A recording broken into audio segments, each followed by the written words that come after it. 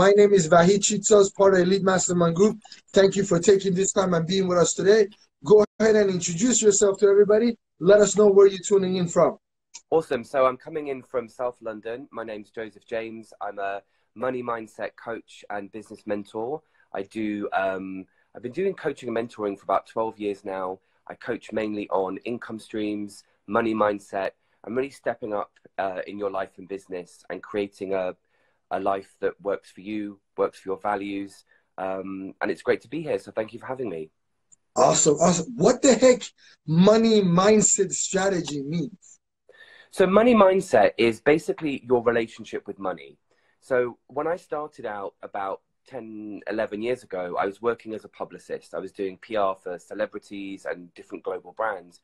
And one of the things I noticed really quickly was you could give um, you could give the same clients um, the same strategy, but they would get different results, and it was all about their mindset. So it's the same with business. If you give two people the same kind of uh, income strategy or or or business plan, their mindset's going to affect a huge part of of that, and that comes down to how comfortable you are charging well for your time, your boundaries with clients and customers, and really giving yourself permission to to feel comfortable charging well for your time and energy. Right? Like if you if you have a subconscious belief that it's wrong to charge for coaching or you can't earn past a certain amount, what people do is they tend to either stay stuck or they tend to sort of sabotage uh, their business in a number of ways. So, what I do is give them very practical mentoring, like business steps they can take and PR advice. But also, we look at really changing their mindset around owning their expertise, owning their authority, and feeling really comfortable charging well uh, for their time and their services. That is awesome. So here's my question. Yes. If I'm a nine to five person mm-hmm. and I do want to become a business owner soon, I'm mm-hmm. getting into that realm of entrepreneurship. Mm-hmm. That mindset also needs to be shifted because I have an employment in the morning and let's say afternoons and the weekends, I'm gonna go and spend time in building my business, my brand, my coaching business, whatever the case might be. Yeah. You know, how do I shift that mindset? Because it's like an on and off switch. Because in the morning, I got to report to a boss. At nighttime in the afternoon, I'm reporting to myself. So, what would be some of the practical ways that you recommend for individuals to take to be able to advance in that mindset? So, great question. The, the first piece of coaching I would suggest is understanding that there really isn't an on and off switch. You're always you and you always bring your own unique set of talents and abilities to the table, whether you're in a nine to five, whether you're in a situation with your family, or you're building your own business. So, the first thing I would advise is always seeing yourself as being deserving of, you know, earning a great living, doing what you love, but also getting really clear on the fact that there isn't really a separation. So, the same skills you use in your day to day job they might be slightly different than you might want to do in your coaching business, but there's going to be similarities there. So I would encourage people to, like, let's say they're building up a coaching business on the side, right? Start using those coaching skills in your day to day job. Start looking at really, really being excellent at everything that you're doing and really start to think of everything that you do affecting everything that you have. So, one of the uh, classes I taught last night here in London was all around positioning yourself for higher fees. And some of the mindset stuff we coached on was really around the fact that how you think about yourself affects everything that you do. So if you're building a side business and you have this belief that, okay, in the day I work for someone else, and in the evening I work for myself, it's going to be very hard to kind of make that a nice, smooth process. So use the skills in your day to day job that you're wanting to translate into your coaching business and also really own everything that you're doing, right? Like, I think if you work in an office, sometimes it can be easy to kind of think, oh, this isn't my passion. I'll wait to be excellent when I'm doing my passion. But actually, training yourself to really be great at everything that you do is going to empower your business to really step up a lot quicker. I agree with that 100%. You do need to, the way you do anything is the way you do everything. So you exactly. definitely gotta you gotta excel in that. So here's my question: How long is this transition supposed to be? If if I'm going from that and I'm working on my skills to be excellent, what time frame should I give myself without me being frustrated that the results are not there yet? What would be this this this time? I mean, when I mentor with clients privately, we normally look at around a three month mark for seeing significant changes. But I think if you're very strategic about it, you can instant, well, I say instantly, you can start to see changes, I would say within about six weeks. Um, it's important to not buy into the overnight success stuff, right? Like we know that we know as rational business people, that is not the case. Um, I don't believe in that kind of coaching and I don't believe in that kind of mentoring. But in terms of, a, of managing any feelings of frustration, I would make sure that you track deliverables. So you keep a very clear uh, Excel sheet or a track list or whatever you guys call it over there of steps you're taking, uh, offers you're making, communications you're having, that kind of thing. So you're proactively monitoring what you're doing and the results you're getting. I would also reframe any feelings of frustration as being around growth. So if you go to the gym, when you lift the heavier weights, you get sore, right? Like your muscles hurt because you're you're stretching and you're you're becoming stronger. So as you're building that side hustle, I'm not sure if you guys say that over there. We have a we, we, we say side hustle. Uh, it's yeah, definitely a side hustle. Awesome. So we call you know as you're building that side hustle i would really encourage you to like manage the narrative in your mind and and view everything that you're doing as building on that and kind of watering those seeds you don't expect a tree to become a tree in a week um, but what you do is you consistently water those seeds knowing that what you're doing is building up into the thing that you want during this process how yes. important is it for individuals to have direct communication with their coach or their mentor? How often does that happen? Because I see a lot of entrepreneurs try to do it on their own and that level of communication is not there that that getting feedback is not there so what are some of your suggestions there as my, i mean i i'm very close with my clients so when i when i mentor privately with a client um, we normally start with a day together virtually or in person and we map out a very clear next steps plan I personally, I like to be in daily contact with my clients. It, it, it, I'm not one of those coaches that's like, see you next week, or when I'm mentoring someone, you know, talk to you in two weeks. I think it's very important to have a very close relationship to your coach, very close relationship to your mentor, and also, um, like you said about ideas, right? Like bouncing ideas off of and, and going through things. I like to always let my clients know that there are going to be times in your day you're going to want feedback, you're going to want maybe some tips, something unexpected happens, right? We've all been there. Um, and I think it's really important to have that close connection with your coach. So ideally, I would say as much as you can, depending on the agreement you have and the package you're in.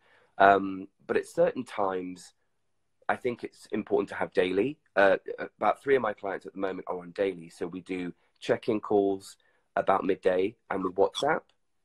And then we also do lots of communication on email. So they'll say stuff to me like, Joseph, can you look at this? And how would you phrase this? Or if they're talking to media or they're launching a campaign or a package or a program, I'm very, I'm very hands-on with them. And then I think at other times, maybe when things are a bit more, you know, they're running a little bit more smoothly, they're more confident, we'll go to maybe once or twice a week. Got it. Here's another question that I have for you. Um, yes. I just blinked out. Give me a second. My question was this: If if if that entrepreneurs going through coaching, do you also suggest to them do reading material, study on their own time, watch videos, watch, do the personal development yeah. as normal? What are some of the recommendations there? So, one of the first things I always suggest is to treat your mindset uh, like a non negotiable. It's something you have to work on and maintain all the time. So, when we do coaching sessions and mentoring sessions, we set very clear deliverables, what they'd like coaching on, what they'd like mentoring on, what they want to get from it. Now, I also like to encourage, I say encourage, I'm a little bit more direct. I make them do this.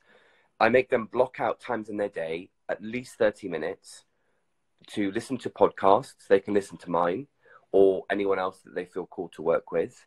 Mine is called Money Mindset and Strategy, or read a book, read a Kindle, um, listen to lectures, and like you said, watch videos because it's kind of like um, I'm sure you know this as well. When you're working with someone in the coaching session, it's very easy to get excited, motivated, things are great. And then they go out and life happens, or little anxieties come up, frustrations come up. So you want to keep your mindset really strong with daily listening to podcasts, watching videos. I love to listen to podcasts when I go running. I find them really, um, they really help me to to to, to stay focused. Um, but absolutely, I think it's very important that there's at least thirty minutes to an hour every day. I love it. I love it. My other question to you is this: yeah. If somebody comes to you, how many minutes should they, should that be dedicated to? You said thirty minutes. Is that for the whole day? So as long as their commitment to you for 30, 30 minutes is there, that's enough? Or can they do more? Or would you say they have to spend the rest on building their business? So, I mean, the, the 30 minutes was around what I would call like study. So, listening to a podcast for mindset tips uh, or, or confidence tips or business strategies. The rest of the day, ideally, you know, it's, again, it's kind of like the gym. You get out what you put in uh, you know what I mean? You, you, you your results base are based on how much you put in. So I think 30 minutes is a minimum. Um, in an ideal world, at least an hour of studying material. When I mentor in corporate environments, when I mentor teams and, and agencies, I often say to people, I don't want to hear that you don't have time because everyone's always on social media now, so you do have time. Um, so we give ourselves at least an hour, maybe half an hour in the morning, half an hour in the evening, uh, studying. And the rest of the day, I often encourage batching. So you take uh, a task like, say, preparing content or reaching out to, you know, potential clients, and you do all of those in one kind of space of time. So let's say every day at four till five, you would do talking to media, or you would do reaching out to potential clients and customers. It's it's good for your brain to get into that um, into that flow. So you're not starting from scratch but also training yourself to make it a priority. It always frustrates me when people kind of talk about, oh, well, I did, you know, I, I was building my business, and you go, okay, so how long were you working on that for? Oh, 10 minutes. Well, it, it's not a 10 minute job. I love it the way you phrase it. If if I had to ask you, based on your past 12 years of coaching, mm-hmm. to give me two common denominators, two biggest challenges that entrepreneurs go through, what that, that keeps repeating over and over. What would those two be? In my in my clients? In your clients, what are the biggest challenges? What is it that often happens to them and is it stopping them from their growth? What are the two common denominators that they always struggle with? The first one is who am I to charge that when it comes to pricing? And that's one of the things I really coach people on is getting very clear on your unique set of skills and abilities that make you perfect for charging whatever whatever is comfortable for you. And I would say the second blockage is if I'm honest, I think it's probably fear of what other people think. You know, most people, I've coached managing directors of award winning agencies, I've coached celebrities, I've coached personal trainers, coaches, mentors, everyone at every level, even the biggest people, still go into what will other people think, what will other people say, and we what we do is we we really work on that and and get very clear on you know what that fear is always going to be there, so we want to take action anyway rather than waiting for it to go away. Take action anyway and accept it as part of the process. I love it, Joseph. Thank you so much for spending this time. Uh, once the, once once we do this video, I'm gonna put a link to your profile so they could go ahead and check out your book. But tell us what what the book is. Name one more time, and where can they find it? Awesome. So um, my website is josephjamesmentoring.com, and my books on Amazon are just under Joseph James or Money Mentoring with Joseph James, and my podcast is uh, money mindset and strategy. And you can email my assistant if you're interested in coaching at info at josephjamesmentoring.com. Done deal. I appreciate Joseph you taking this busy time You're out of your day being here. Hopefully, looking forward to doing a lot more collaboration with you. Thank yes. you so much. Bye bye. Talk to you later. Bye bye.